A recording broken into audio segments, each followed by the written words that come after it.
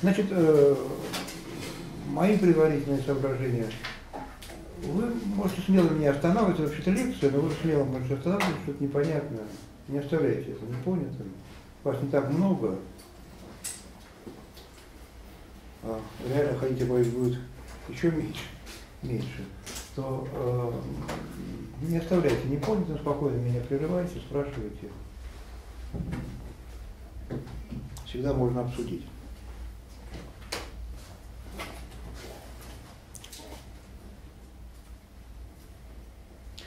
Ну, тема первого занятия всегда предсказуема. Это предмет той науки, которую вы будете знакомиться.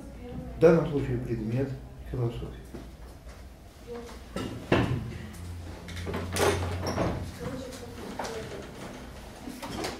Пожалуйста, пожалуйста. Можешь на первый ряд. Не, лучше на первый не надо. На Можно два. Ну, Одно место оставь сюда, чтобы меня видно было. А вы двое пока. Если там аккуратно,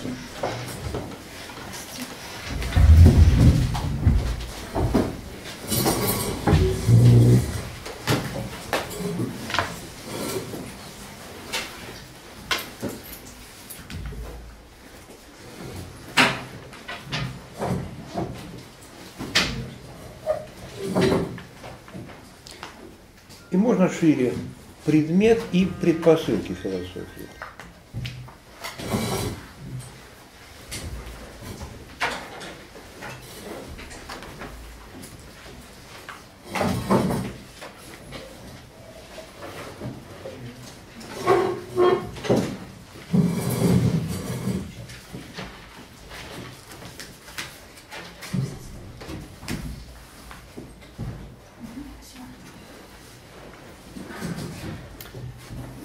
Предметом философии является бытие.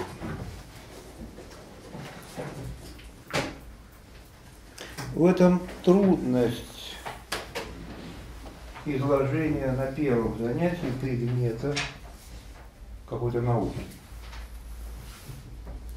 Потому что об этом предмете пока еще ничего не сказано. А мы его уже определяем. Ну, Например, если вы изучали биологию, то преподаватель начал бы с того, что предметом биологии является живое. Но вы еще ничего не знаете, вы еще не изучали биологию совсем, вы ничего не знаете о живом, и чем он отличается от неживого. Но вы, вам уже говорят, что предметом является живое. В этом трудность любого начала. Поэтому нам приходится опираться лишь на смутную интуицию. Вы ничего не знаете о признаках живого, но у вас есть интуиция, да, что это живое, а это, а это вот нет. Так и здесь. Говоря, что предметом философии является бытие, я еще ничего об этом не сказал. Но я опираюсь, в некотором роде доверяю вашей интуиции что у каждого человека есть интуиция бытия. Но эта интуиция очень смутная, надо сказать. Иногда бытие – это полнота жизни. Ура, я существую. Моя жизнь полна, она, она наполнена, она насыщена. Некуда палец просунуть. Вот это жизнь, вот это, вот это да, это а иногда ощущение бытия возникает среди неудач и потерь. У человека ничего не осталось. Вдруг ясно познает, понимает, что он осталось только то, что не отнять. Он существует. Интуиция бытия очень смутная, но она есть. И когда я говорю, что предметом философии является бытие, что-то вы понимаете. И следовательно, наша задача в течение всего курса лишь раскрыть эту интуицию.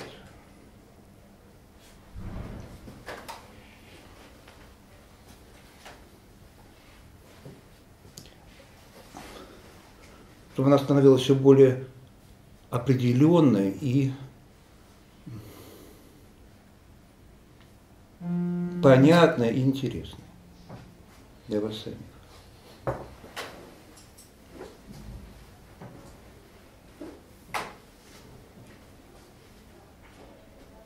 Чтобы говорить о бытии, его надо определить.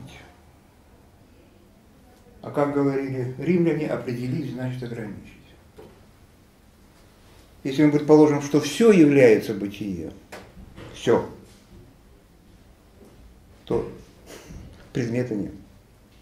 Тогда философии нечем заниматься.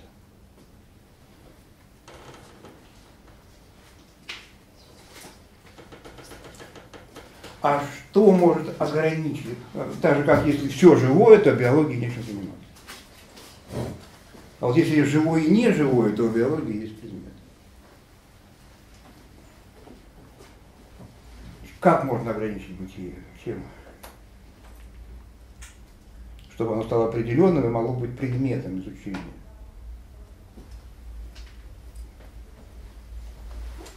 Еще раз повторю, если все одинаково существует, то о существовании бытия не приходится говорить. Чтобы говорить, надо как-то ограничить. Чем можно ограничить бытие?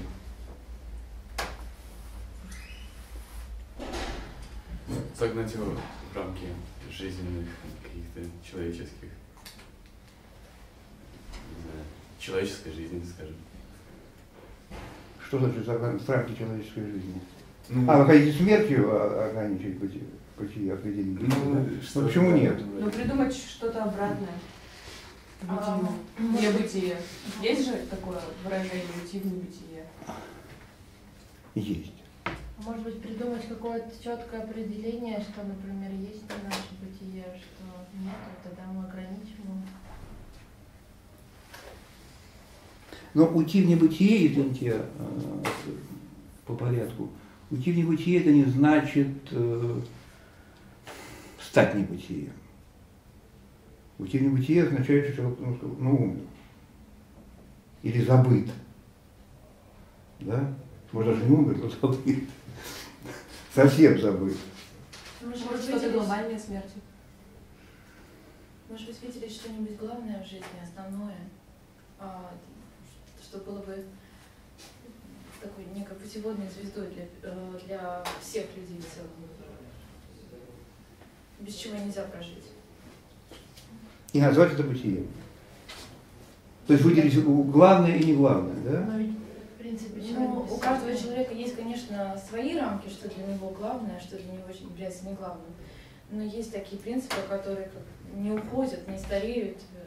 э, Человек их никогда не теряет, даже если он о них постоянно не думает. То есть они у него существуют в неком подсознательном состоянии. не у всех. Но я не согласна, потому что времена меняются, и в каждое время принцип абсолютно уходит на нет, так что вряд ли. Ну да, что было нормально в один век, в одно столетие, то уже ненормально там в другое или наоборот. То есть трудно. Мгм. Если понимать под бытием смысл жизни, Нет, то трудно. это не смысл. Это трудно. Слишком изменчиво. От человека к человеку, от века к веку, от Ну, эпохи к самый смысл жизни может измениться от возраста. Кстати, да. И от цвета волос, разумеется.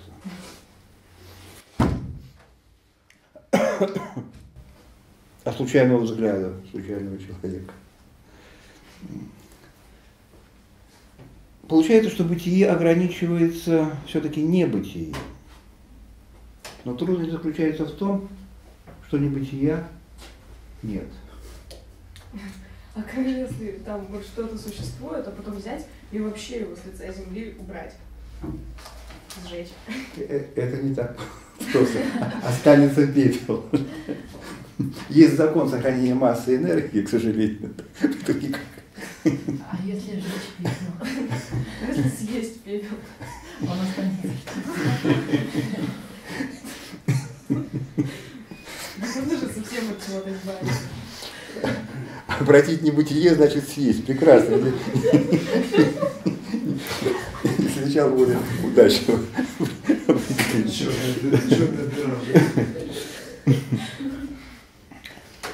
Говорить приходится скорее о родах бытия.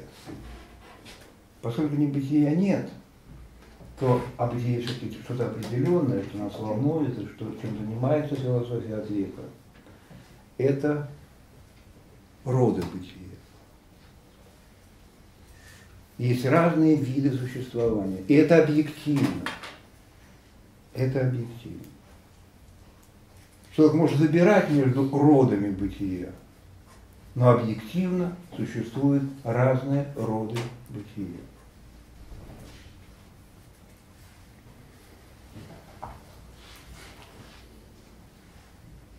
Например, существование души и существование тела. Это разные роды бытия. Существование в жизни и существование в мечте, правда ли, это разные способы существования. Это объективно. Вы предпочтете мечту, я предпочту действительность. Но это что будет означать? Это будет означать, что для вас мечта – это действительность. То есть вы выбрали род бытия. И ни в коем случае нельзя впадать в морализаторство. И в этом ошибка вот такого, такого предположительного ответа, что бытие – это смысл жизни. Мы невольно впадаем в нравоучение. Вот это важно, слушай меня сюда, это важно, а это нет. В этом опасность, и большая опасность такого рода смысла жизненных определений бытия. Мы не будем учить, что впадать в мечту это хуже, чем жить какой-то так называемой настоящей жизнью. Этого делать мы не будем. Но мы понимаем, что существование в мечте и через мечту – это один род бытия. А существование в так называемой действительности – это другой род бытия. Итак, не говоря еще ничего определенного, мы что понимаем? Что есть роды бытия. Существование души и существование тела. Существование мечты и существование жизни. И может быть что-нибудь еще. И поэтому предмет философии является определенным. Небытия, конечно, нет. Но бытие неоднозначно. И перед человеком часто встает вопрос не просто это или это, а этот род бытия или этот род бытия. Когда человек уходит в мечту, он выбирает не предмет. Потому что вот вы в действительности, вот я вас мечтаю. Предмет тот же. Он выбирает не предмет, он выбирает род существования для себя. Помните у раннего Достоевского мечтатели, да? Которые живут мечтой. Для них это действительность. Они так решают проблему существования.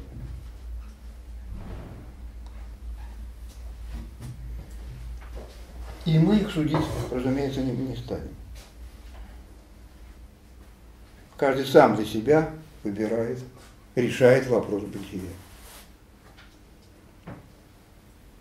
Давайте различим два первых философских понятия. Ну, первое понятие бытия, самое первое самое главное для философии. Но следующие два понятия будут нам сами важны. Это сущность и существование.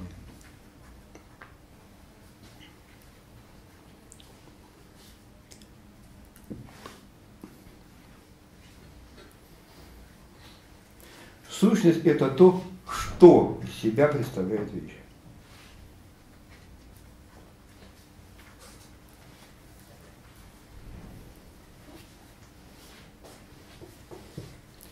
Сущность стола в том, что он стол. Сущность – это что? Или, как иногда говорят, штойность вещи. То есть, что вещь из себя представляет. Каковы его свойства, законы, причины. Это все что. Что значит это а, калька с латинского quidditas. Буквально латинское слово quidditas означает что есть. Просто в латинском это очень важный термин, поэтому существует как существительное, видит. В русском языке такого существительного нет. Поэтому придумываем слово, которое отчасти а, ну, является калькой. В русском так не звучит, так никто не говорит, что есть. Но чтобы передать латинское слово «видитас», мы говорим что есть. В русском существительного такого нет, и может быть это недостаток. Ну, объяснить недостаток. Может быть нет. Особенность русского языка. А существование – это вопрос, существует ли и как существует вещи.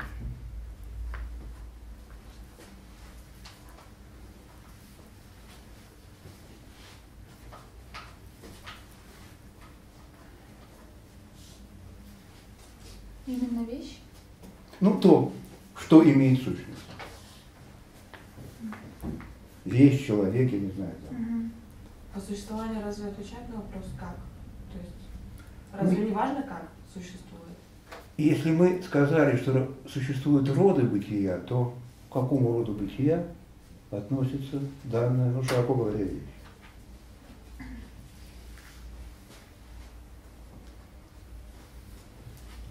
И это очень разные вопросы. Совершенно разные. Если мы возьмем русалку, то с точки зрения что, это очень понятно. Головка, бьюти, хвостик, все. Все понятно. Но вопрос, существует ли русалка и в каком смысле она существует, это вопрос оказывается громадной сложности. Так просто к нему не подойти. Ну, то, что русалка это с точки зрения сущности просто, это, конечно, я глупость сказал, потому что это очень сложно и интересно, в какой мифологии, почему она возникла, как, как этот образ развивался, как он отразился в культуре. Все это страшно интересно и страшно важно. Но все это к вопросу «а что?». И, не, и никак он не связан с вопросом, вот человек погрузился в, в, в эту мифологему русалка и все не изучил. Откуда, как, почему, куда, чем связано, у каких народов, насколько значимый образ, бездна всего, ты его так тихонечко плечика, слушай, она, а существует русалка? Он очень расселится, этот человек. Потому что это вопрос не к нему. Это совсем другого рода вопрос. Это чувствуется сразу. Математик изучает числа, он все о числах знает. Их свойства, законы, числа бывают положительными, отрицательными, рациональными, иррациональными, подчиняется действиям сложения, умножения. Он все знает о числах, сколько можно, можно знать.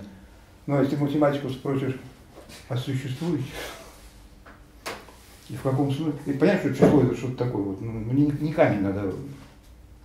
Что, может быть, это игра, математика, может быть, это вообще выдумка какая-то. Человек взял и вывел формулу пустой вселенной. Вот она формула. Она есть.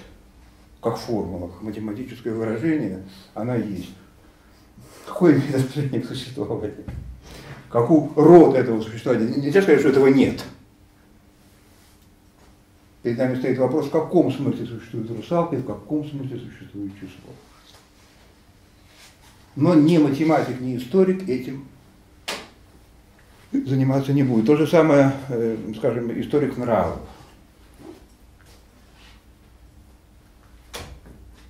Очень быстро он выясняет, что у, в разных местах и у разных народов совершенно разные представления о добродетели. Это очевидно.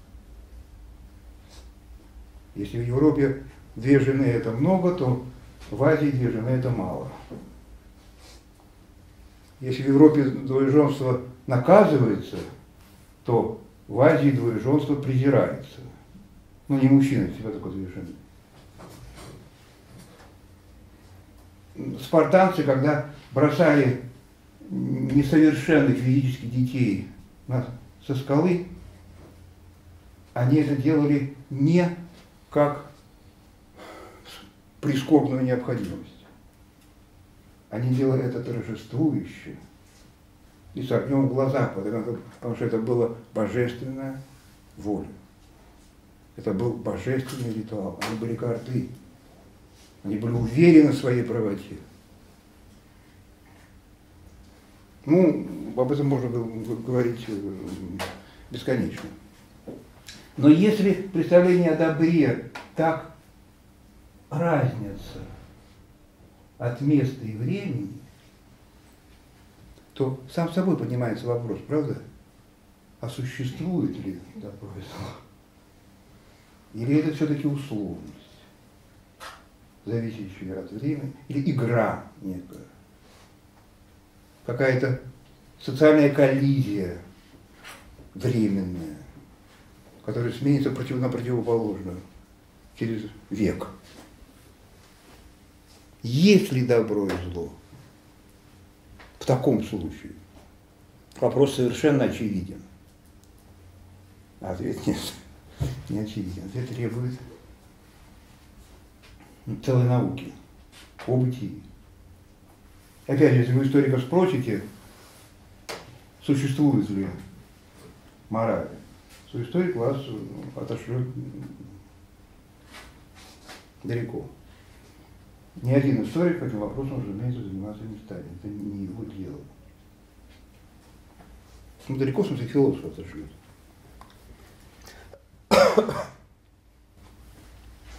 Таким образом, все остальные науки, кроме философии, занимаются сущностью. И только философия существования. Еще раз, одно дело сущность русалки, другое дело существование русалки. Совершенно разные вопросы.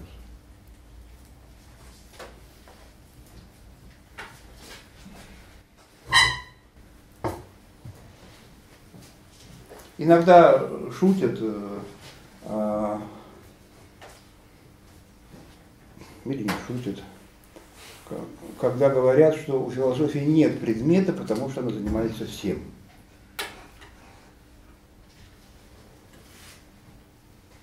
Ну, то бишь валяет дурака. Потому что заниматься всем, значит не заниматься ничем.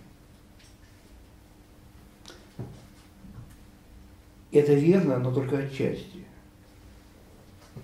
Философия занимается действительно всем, но не с точки зрения сущности а с точки зрения существования.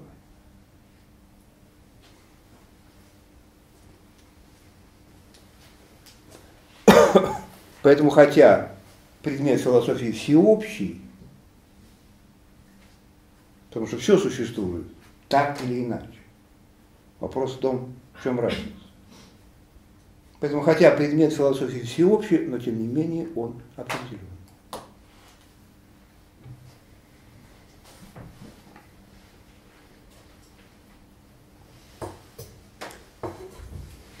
есть еще одна область человеческого духа, который, кроме философии, которая занимается бытием. Что? Какая область духа человеческого? М?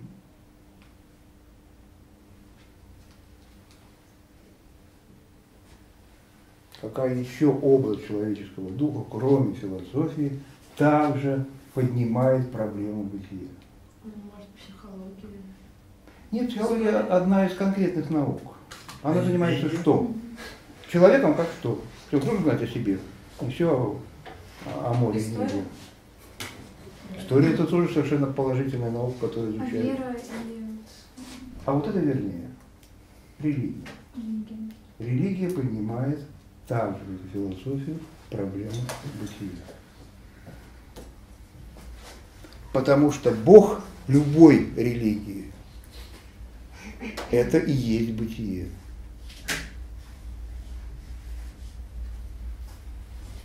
Иудеи спрашивают у Бога, кто ты?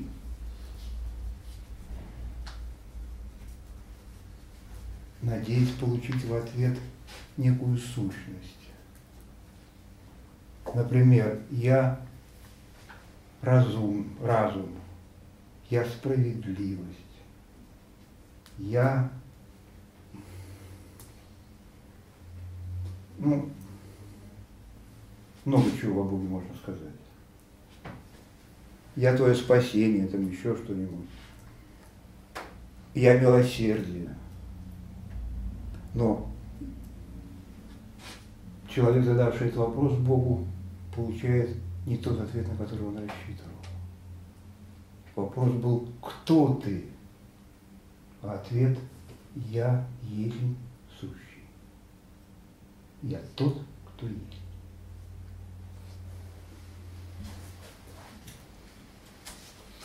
Бог – это бытие, и только в Боге можно обрести полноту бытия. Такой взгляд любой религии.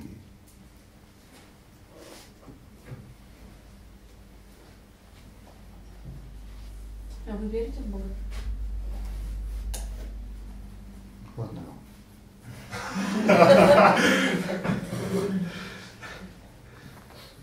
Я верю в Бога, в Бога я женат, я... Что, что еще?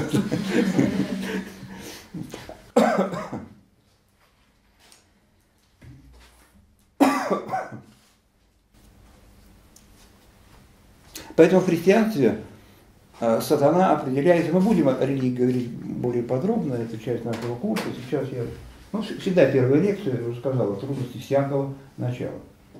Приходится очень опираться на очень поверхностную вашу интуицию, которую еще предстоит развивать и определять. В христианстве поэтому сатана зовется князь мира сего. Не только князь тьмы. Это как бы понятно, банально. А князь мира сего. То есть хозяин и владыка мира. В каком смысле? В том смысле, что сатане подвластны все сущности. Он может дать все. Власть, деньги, женщин, лошадей, все что угодно. Но он лишен бытия. Он лишен бытия. Бытие только в Боге. Поэтому, когда человек отдает душу дьяволу, он а, получает все. Потому что дьявол князь мира сего. Но только со стороны сущности. Продав душу дьяволу, человек а, через дьявола, через сатану получает власть над миром, но теряет бытие. Теряет чувство и сознание бытия. В русском языке поэтому э, сатана еще зовется бес. То есть без бытия. В каком-то смысле сатана это все могущество, а, а с другой стороны дырка, без, чистое отрицание. Понять это можно только различив в голове своей, различив сущность и существование. Поняв, что это разные вещи, разные вопросы. Извините, пожалуйста, можно вопрос? Конечно. Ну вот э, Бог же, он нам тоже, можно сказать, как бы все дает. Мы, допустим, подумали, там, через некоторое время это сбывается, но тогда получается, что Бог тоже, ну, без бытия, потому что он тоже может дать нам все, как и сатана, разве нет?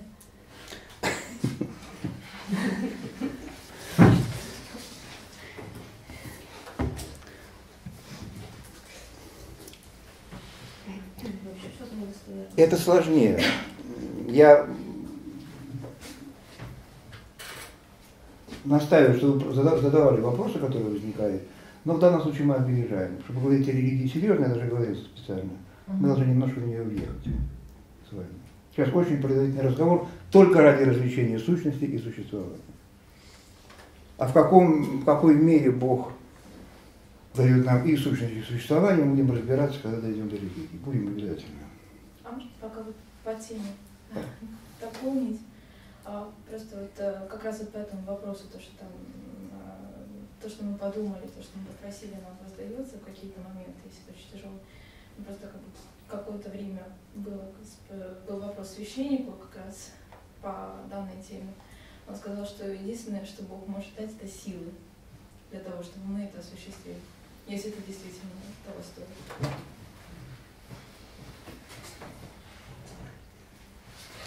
Ну, То прекрасный есть ответ. он что- предметно, а, к нему подходили, к священнику спрашивали, возможно ли помощь в чем-то. Он сказал, что этого давать никто не будет. Вам дадут только силы и спокойствие для того, чтобы что-то преодолеть. Ну, схема действительно. В самом деле схема. Да священники такие же люди, откуда вот они знают? Вот именно, кстати. Э, Вам что он мог сказать? Ос- Остаемся на интуиции и сущности существования. А священников мы обсудим, когда придет время.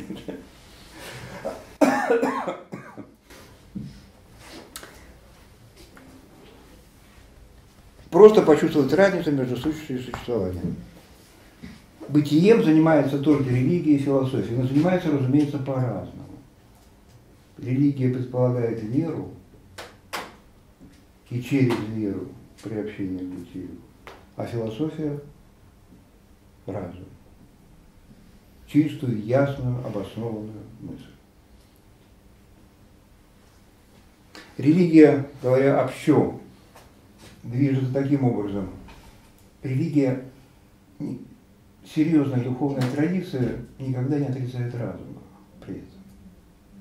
Ни в коем случае надо противопоставлять веру и разум. Ни одна религия, ни священник этого не сделает. Ну, опять же, исторически были э, в средние века там люди, которые, один епископ говорил, веру ибо нелепо. Отдельные люди были, которые отрицали разум, ве- верить это. Сломали. Но в целом, ну, люди всегда есть люди. Люди бывают разные. В бывают разные периоды. Когда-то людей сжигали. Ну что теперь во всем так думают. В целом, если говорить о любой духовной традиции, не только христианской, разум не отрицается. Но в религии, вере движение происходит так. Уверовал и через это понял. А философия наоборот. Понял и убил. То есть в некотором смысле убил. Это разные дороги. И мы, разумеется, будем двигаться по дороге философии, а никоим образом не религии.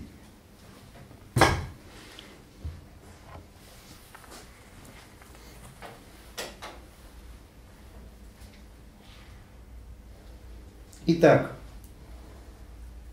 предметом философии, если оставить в стороне религию, религию только философии является бытие.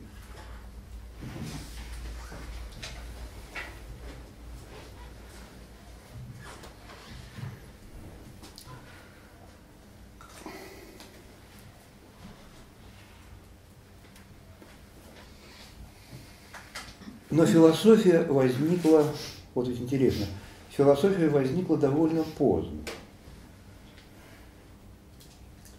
Философия, в Европе философия возникла где-нибудь там э, в 8-7 веке до нашей эры. До этого люди, человечество существовало тысячелетия. И поэтому правомерно задать вопрос, а что? Про- Проблемы бытия стали заниматься только в VII веке до нашей эры, а до этого жили люди абсолютно равнодушные или не догадывающиеся о том, что есть проблема бытия. То есть пока не возникли профессиональные философы, люди как бы и не... Ну, смешно получается. Этого просто не может быть. Когда?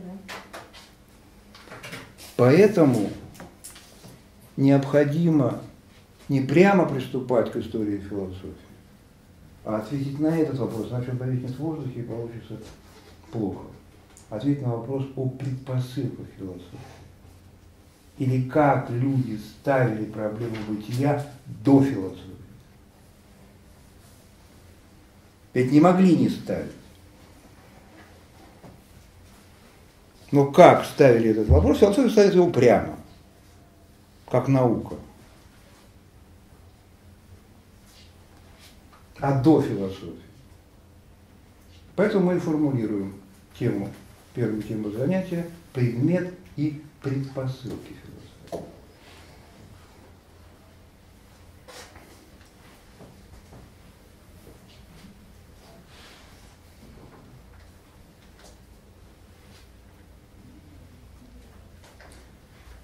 Если говорить общо, широко, то предпосылкой философии служит язычество.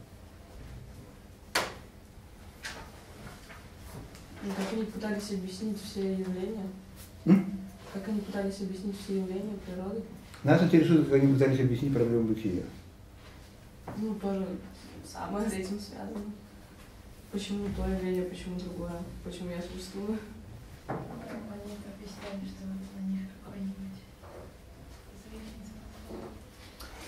Что такое язычество? Да, если одним словом, многобожие. Многобожие существует в самых разных видах. Есть язычество скандинавское, которое отличается от греческого, есть сильно отличается, решительно отличается. Есть язычество э, восточное, китайское, японское, есть славянское язычество. Мы, у нас с вами не курс ве- истории верований или конкретно мифологии, язычества. Поэтому мы, у нас курс философии, поэтому возьмем язычество как бы по существу, вне всяких различий.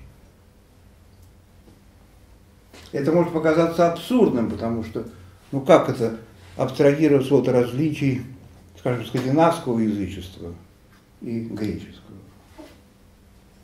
Ну, Как? Слишком неразные.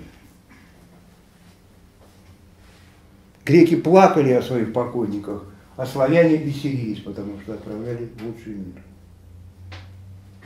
своих умерших. Как от этого можно абстрагироваться? И тем не менее, мы попробуем это сделать и попробуем получить удовольствие от того, что мы мыслим как бы чисто.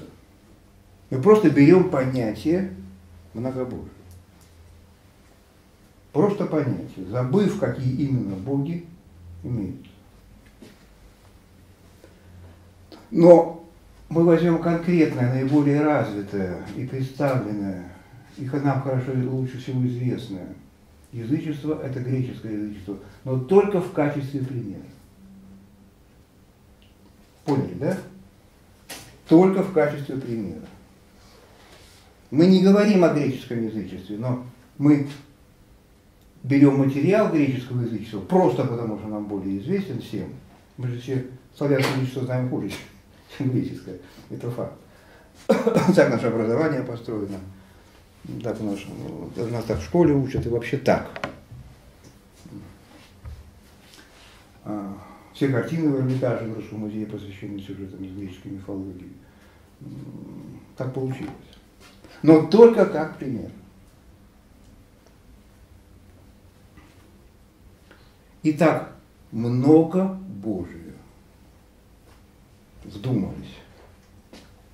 Сели, подумали. Подумали, подумали и поняли. Бред. Потому что что такое Бог?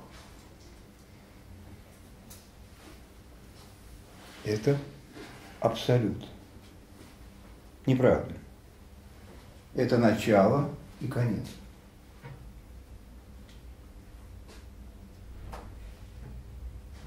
А теперь скажите, пожалуйста, сколько может быть начал? Разумеется. Сколько может быть абсолютов? Два, три абсолюта. Конечно, они после этого абсолюты. Если перед нами два начала и три конца, то какие же они начала и концы? Понятно, что два начала это уже не начало.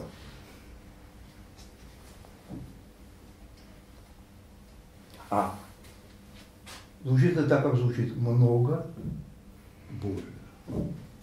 Круглый квадрат. Бред.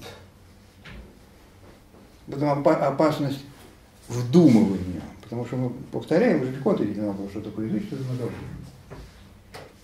Я очень рад, что вы не затрудняетесь в таких вещах. Мы привыкли говорить это слово совершенно, как и многие другие слова, совершенно не а, задумываясь об их смысле. Иногда, когда задумаешься, пожалеешь. Но словам же тоже люди придумывают значение. То есть, может быть, боги означали что-то другое, нежели сейчас для человека с монотеистической религией значит это слово. Да нет, боги были боги, Афродита что не бог? Ну, может, их не воспринимали как абсолюты. Воспринимали. Опять же, от времени меняется Им представление о служили, им служили. И потом мы- на- время над нами с вами не властно, мы работаем с понятием многобожия. Афродита лишь пример. Как можно отрицать, что Афродита – Бог? Ну, Аполлон тоже Бог. Ну, слово Бог-то придумали люди. И потом уже вложили в него определенное значение. Но значение, которое вложили люди, это абсолют, Афродита абсолютно. Некоторым образом. Но она же абсолютно... Вот, вот- Разве она кому-то служит? Разве она кем-то ограничена? Зевсом. Да, кстати. Верховный Все равно бог. же есть верховный Бог. Вас оборвали. Что вы хотите сказать? Я уже не помню. А, вспомнила. Я хотела сказать, что каждый бог, это же получается, ну вот, э, абсолютно он в определенной сфере, как бы, но вот, э, как сказал молодой человек, э, у них же есть верховный бог, значит, все хорошо. Вот, вот умница. Вот умница. Бог в абсолютной сфере. Посмотрите, а, Афродита – богиня любви красоты. Аполлон – бог науки и искусства. Любовь – это страсть, а наука – это истина. А кто бог э, закона? Афина – богиня закона. Афи- Афина – это закон. Теперь скажите, любовь – это разумно или неразумно? Неразумно. Ну, это ва- ваш личный опыт, я вообще спрашиваю.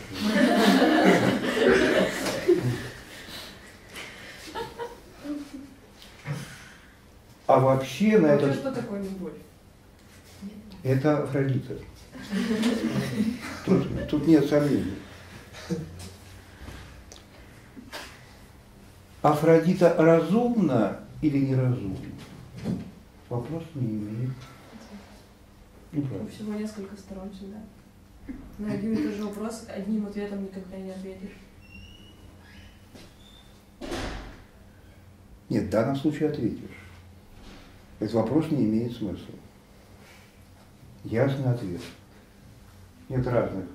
Если вопрос не имеет смысла, какие вы предлагаете разные ответы на него? Любовь неприложима к разумности и неразумности, истине или лжи. Любовь – это любовь. Любовь А это теперь- слово. А? Любовь это слово. Ну, какой-то смысл в нем есть же. Ну, для каждого он свой. Ну пусть. Пусть, конечно. Мы говорим вообще. Для всякого человека. Любовь. Поставите вот этот вопрос. Любовь это истина или ложь? Ну глупо. Для всякого человека глупо. И для греков в частности. Греческие герои греческих трагедий, влюбленные, охваченные страстью, охваченные пылом, они совершали всякие безобразия, нарушали все законы, совершали величайшие подвиги. Но поставить вопрос, любовь это справедливо или несправедливо, также точно невозможно. Но в каком смысле любовь справедлива или несправедлива? Ну, совершил я подвиг ради любви, совершил безумство. Я подхвачен любовью. Нельзя меня судить, это истина, это не истина. Глупо. Для всякого глупо. Так нельзя сказать, любовь законна или незаконна. В каком смысле? Охваченный любовью я могу нарушить закон, тогда на меня обрушится Афина, но не Афродита. Я могу сделать величайшую глупость, тогда на меня расселится Аполлон, но не Афродита. Афродита останется равнодушной к суду Афины, к суду Аполлона. Потому что она сама любовь. Даже Аполлон сама мудрость, а Афина сама справедливость, законность. Каждый бог существует, как верно заметили, угадали, ничего плохого в этом слове нет. А каждый бог в своем смысле. Каждый бог в в своем смысловом мире. Мир любви никак не ограничивается миром разума, понимаете, по типу Афродита Бог. Не спорьте, не сомневайтесь, все правильно. Существует многобожие. Оно осмысленно, потому что Афродита действительно Бог, который никак не ограничивается ни Аполлоном, ни Афиной. И то же самое Аполлон. Так любовь в каждой своей области, а не абсолютно. Да, да, поэтому я говорю, что язычество это не бред. Было бы странно. Столько всякой культуры, любого народа, я уже сказал, язычество было бы странно, чтобы это оказалось бредом.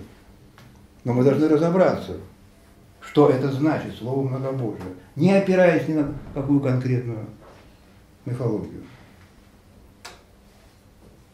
В любой мифологии, в любом многобожии каждый бог есть бог в своем смысле. И вот тут э, Зевс. Зевс, конечно, зовется отцом богов и царем богов.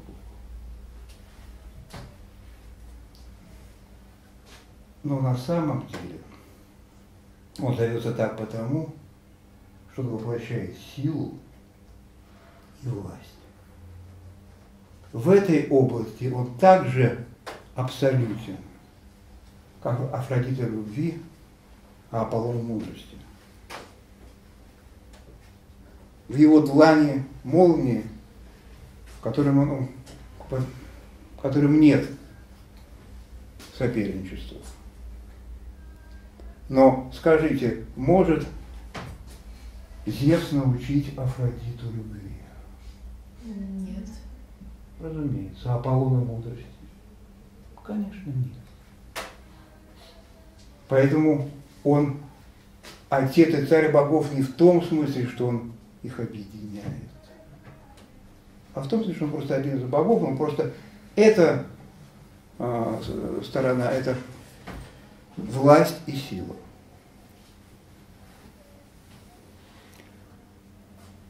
Что представляет собой Зевс за пределами власти и силы?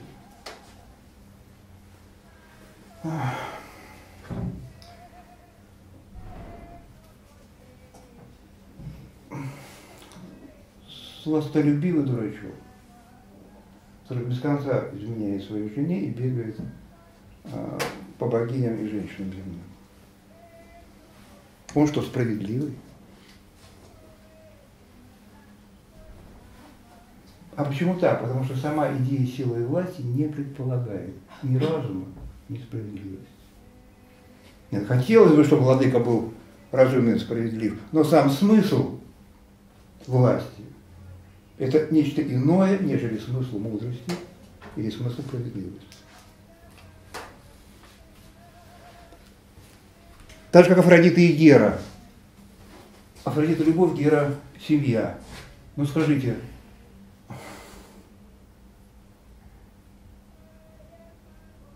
смысл любви как относится к смыслу семьи? Да никак. Люби- Любить можно и в семье, и вне семьи, в равной степени. Что власть может быть как разумная или неразумная, справедливая или несправедливая. Любовь может быть или вне семьи. Любовь как смысл безразлична смыслу. Они случайно могут совпасть, но случайно. Никакой необходимости в семье идея любви не несет. И наоборот. Семья может быть прекрасной и с любовью, и без любви. Поэтому у греков стоят разные храмы. Разные храмы. Храм Гере и храм Афродите. Извините, а как можно построить без любви? По расчету. Ну, это же будет не семья, это же будет сожительство, не знаю. Ну, есть же, Вот что ты можешь любить не только, например, своего мужа, ты можешь любить там, например, что угодно в этом мире. Просто если человек любит э, другого человека, он вкладывает в него э, силы и ну, как бы пытается создать что-то вместе с этим человеком, и на этом фоне возникает семья. А если человек не любит этого человека, он не будет с ним создавать семью, и ему будет параллельно. А как же, если вспомнить, э, ну, сколько немножко, по, по- немножко, буквально 200 лет назад э, была такая, ты выходишь за него, и никаких вопросов. Значение слова семья изначально это ячейка общества. Да. Никакой, если любви может В быть, принципе, не не И тем более вам просто пытались объяснить, что каждый бог заразно отвечает. Да, вы опять просто смешиваете свой личный опыт с опытом человечества язычества. И ваш вопрос сродни вопросу, а как власть, властителю может быть идиот? Ну как это возможно? Что же за такое за власть? Ну, э, ну в некотором роде да, конечно, бардак, а не власть получается, но смысл власти я о чем? Смысл власти безразличен смыслу разумности. И смысл семьи в этом же смысле безразличен смыслу, смыслу любви. Зевс, Зевс же стал ну, главным богом, потому что он любил своего отца Кроноса. Поэтому как бы, он был самым сильным. Он своего брата отправил в ад управлять за ним, а другого назначил ну, Посейдона стать э, властителем моря. Хотя они были три верховных таких бога, грубо говоря. Все, все, все, все абсолютно правильно, но мы помним, да, что мы на философии, Да. а не на, на- на истории верований. Поэтому мы берем только как пример, не погружаясь в реальную ткань греческого язычества. Это очень интересно, я понимаю желание. Занимательно, вы больше- нигде этим не занимаетесь, больше негде об этом поговорить, а хочется. Поэтому совершенно не, не надо бояться себя, там, увлечения каких-то, сказать лишнее. Говорите. Это мое дело удерживать э, разговор в пределах чисто философских, чисто логических. Язычество и все. Итак, мы получаем ответ, что такое язычество. Слава Богу, это не бред. Боги действительно боги. То есть они ничем не ограничены. Но они безразличны друг другу. Как смысл. Как смысл они безразличны друг другу. И поэтому, собственно говоря, и абсолютны. Поэтому и боги.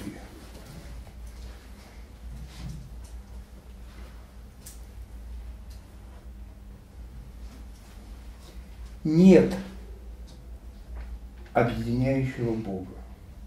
Есть совсем не то. Есть просто один из смыслов. Просто смысл – это власть и сила.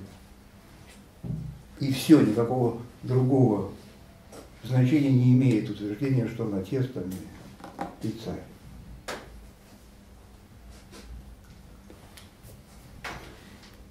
Нет единого Бога, нет единого мира и нет поэтому единого смысла.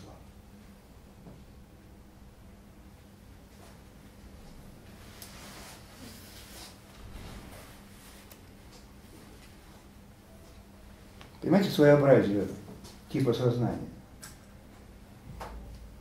Люди различаются ведь не только внешне, нарядами, кухней, обычаями. Люди различаются способом думать. Мы привыкли, что к тому, что в мире есть единый смысл, единый Бог, и вообще мир нечто единое. Мы уже потеряли язычество как основу своего миропонимания. Нам, по сути, это уже непонятно. А что именно нам непонятно? И представьте себе,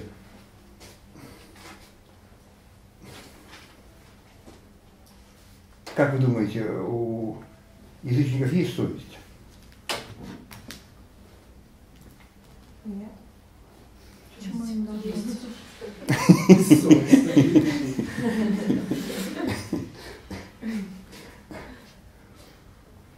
Ну, я чуть-чуть наивно буду давать определение совести, м, по крайней мере, в христианстве это иначе понимается, но давайте дадим первое определение совести, которое на самом деле разделят все. Все вы и все мы. Совесть – это преобладание одного смысла над другим. Совесть – это преобладание одного смысла над другим.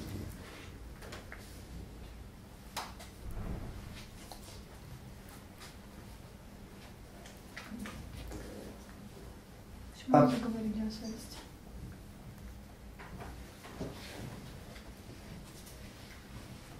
Я хочу показать, насколько мы с вами далеки от язычества, как способа понимания мира. Да, то есть у них все-таки не было совести? Конечно. Откуда? Ведь все боги боги. Понимаете, совесть предполагает иерархию смысла. У меня все языческие смыслы во мне присутствуют. Особенно вах.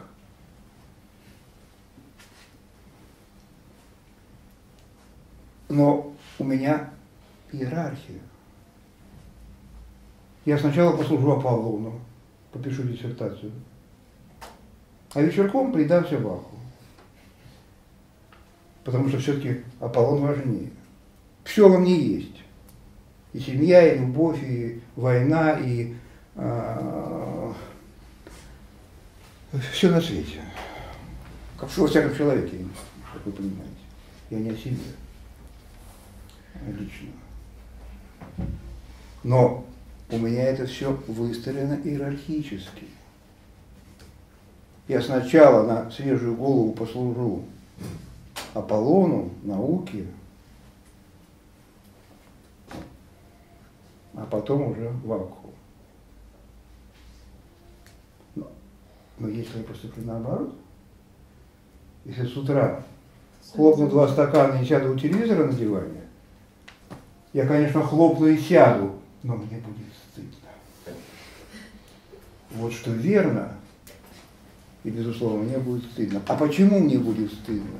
Совесть. Конечно, совесть. То есть на самом деле я могу нарушить эту иерархию иногда, но я не могу это сделать, не засовестившись. Это точно. А им было наплевать, что и когда. Понимаете, это, это сложный вопрос, но его обязательно нужно прояснить. Есть предпочтения и есть ценности. Понимаете, вы родились поэтом, я родился воином. Вы служите Аполлону, я Аресу. По внутренним особенностям, личностным особенностям. Но ценность – это всякий человек как бы индивидуальность. Кто-то родился в склонности к семье, кто-то к свободной любви. Ну, склонность. Личная склонность. Ну, может быть, наше преобладание одного смысла над другим возникло, потому что у нас есть какие-то обязанности, для чего-то мы это делаем. А если бы вот нам, у нас был бы свободный день, мы бы могли поступить по-другому. В винодельческих районах, Обязанность. по-моему, говорим об одном и том же, поэтому я не, не реагирую. А, в винодельческих районах Греции, конечно, больше ценили Ваха. А в городе Афины, и говорить не надо кого из богов, больше ценили.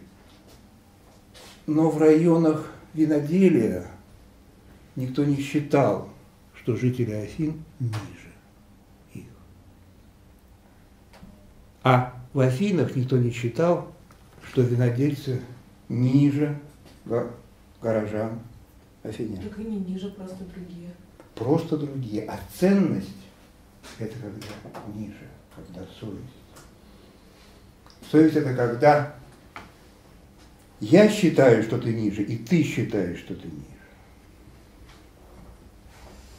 Совесть – это когда я ценности. Совесть, понятно, одно и то же, да? Иерархия ценностей. Это когда воин и поэт смотрят друг на, на друга как на равных.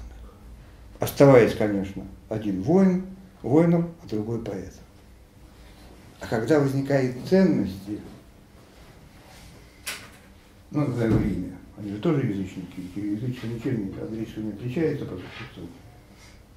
Но в Риме семья была выше свободной людей, а воины были выше поэтов. И это называется ценностью и совестью. И воин знал, что он выше поэта, и поэт знал, что он выше, он ниже воина. Это значит, что у них не только склонности, но и ценности. По существу я говорю. У нас тоже профессор выше дворника. Такие о чем? Такие о чем? Или дворник выше поэта, неважно, э, профессора. Важно, что ценность предполагает выше и ниже. Важно, что мне стыдно, когда я отдаюсь Бакусу, потому что я- у меня не просто есть склонность к Аполлону, а я считаю Аполлона выше Ваку, внутри себя считаю. Поэтому спецовысу. И поэтому, встретив э, пьянчушку, который с утра залил глаза, я понимаю, что он, да, пыль, грязь на дороге. Ну, иначе говоря, худший человек, нежели я. Который такой трезвенький и в очочках с газеткой. Различите, пожалуйста, склонности и ценности. У нас с вами помимо склонностей по существу есть ценности. Иначе говоря, есть совесть. А у язычника по существу, ну как личности язычники приразные, это тот, кого ты презирал, вы понимаете, мы говорим э, только по делу, объективно. А объективное язычество не предполагает ценности. Хотя, разумеется, не исключает склонности. Это было не идеологизированное общество. Потому что ценность на уровне личности называется совестью, а на уровне общества называется идеологией. Рим был уже глубоко идеологизированным народом, хотя и а греки нет. Греки это классическое, еще не разваливающееся язычество. И в класс- классическом виде язычество не предполагает ценности. Поэтому в храм Афродиты греки ходили с такой же гордо поднятой головой, как и в храм Геры. А у римлян вместо храма Афродиты появились публичные дома. То есть место стыдное, куда ходят, прикрыв лицо. Отдельный Как можно район.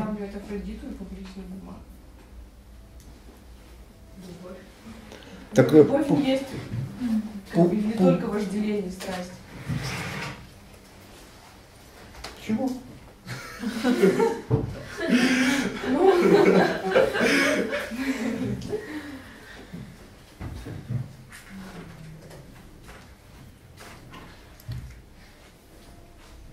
Должен вас разочаровать.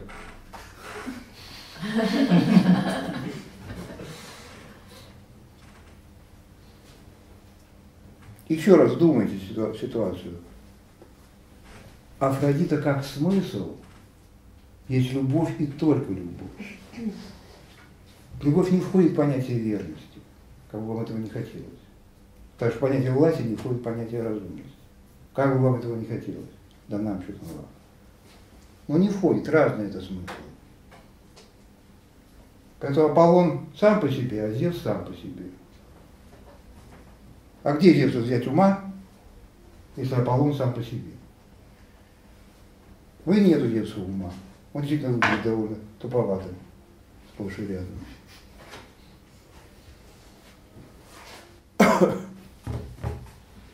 Это же, это же очень любопытно. Греки не боялись насмехаться над своими богами. Зевс за пределами силы и власти, в пределах он Бог. За пределами силы и власти он почти ничтожество. Неверный супруг, э, глуповатый, э, глуповатый субъект и так далее. Афродита сплошь и рядом попадает в смешные ситуации за свои из-за того, что она любовь.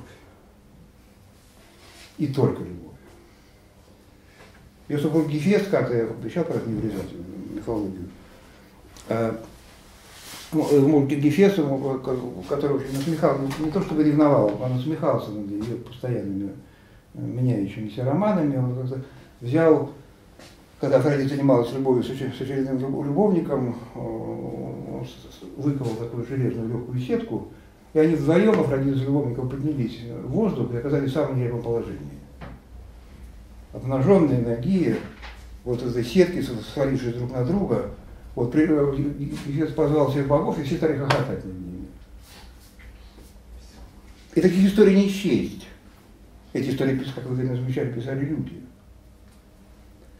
А греки насмехались над богами, то есть были ситуации, которые нам неведомы. Для нас Бог это все совершенство, а для греков нет. А для греков нет. Это другой образ мысли, не другой наряд, не другие обычаи, не другие порядки, а другое сознание. Только у греков так? У всех язычников. Греков я пример снова повторюсь. Только как пример. Мы берем язычество как таковое, и просто из понятия язычества предлагал вам получить удовольствие такого чистого анализа, просто из понятия многобожия выводим отсутствие ценностей и насмешка над богами. Просто из самого понятия много Божия. Если есть много Божия, то откуда взяться совесть? Ведь все боги боги. Все боги равны, потому что они боги. И где же вы возьмете иерархию? Потому что иерархия тогда один Бог, то есть один смысл оказывается Богом, а второй, так сказать, под Богом. Не до Бога. Разрушается чисто логическая ситуация. Рушится. Один Бог начала, а другой, так сказать, вот ответвление от этого начала. Само понятие много Божие не предполагает иерархии, а значит не предполагает ни совести в индивидуальном, индивидуальном плане, ни идеологии в общественном. Просто само понятие многобожие. Само какого? Раз многобожие, значит все боги – боги.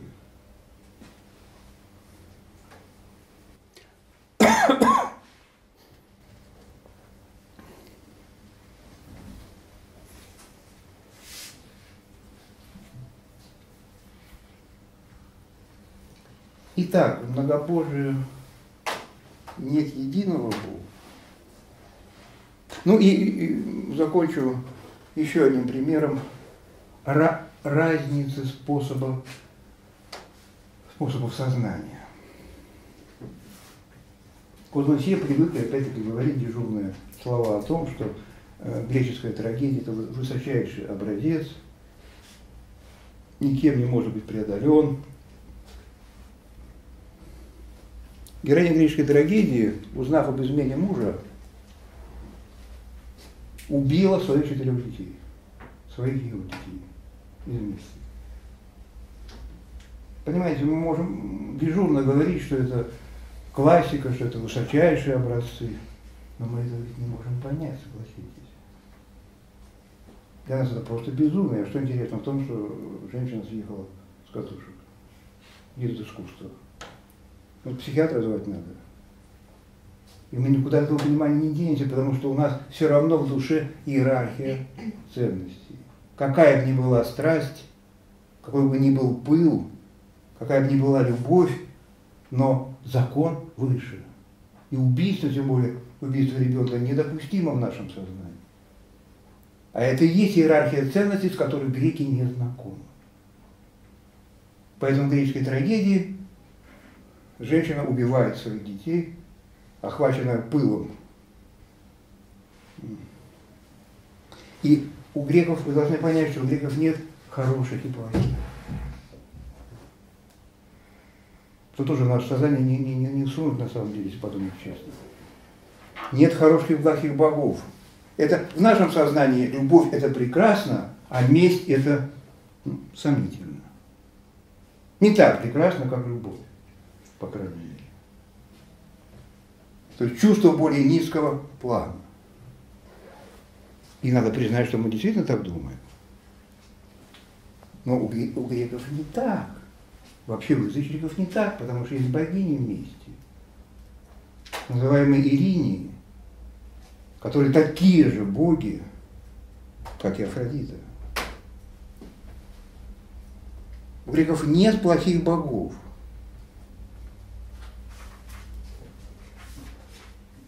Хотя над всеми богами можно насмехаться греков.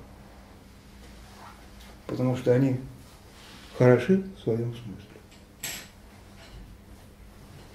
Поэтому ревность, месть, любовь, справедливость, все это пантеон для греков. А в наше с вами сознание это не лезет, надо признать. Потому что оно другое. Какое, другой вопрос, мы этим тоже будем заниматься как-никак, так или иначе. Но очевидно, что другое. И как говорил, что образование бывает двух видов. Первый вид – внешнее образование, когда я изучаю другого человека в том смысле, что у него другие обряды, другие одежды, другая еда, другие обычаи, другая форма власти. Мне все страшно интересно. Это как бы путешествие. Как говорят немцы, путешествие образовывает. И другое вид образования, когда ты знакомишься с другим сознанием. Что не то же самое, что другая одежда. И не то же самое, что другой обычай. Это другое сознание. Дело не в том, что греки, например, греки, иначе чем мы понимали добро и зло, а дело в том, что у них зла не было. О как. Не было плохих богов. Мы, воспитанные в лоне христианства, так или иначе, делим не на сатану и, и Бога. Поэтому ревность, она отчасти от сатаны. Но греки не делили на хорошее и плохое. Еще раз, дело не в том, что греки иначе понимали хорошее и плохое, а дело в том, что у них не было плохого, как у нас. А это уже не другой э, образ жизни, а другое сознание. И это по-настоящему интересно. Именно этим и занимается философия отчасти. Все на сегодня. Спасибо.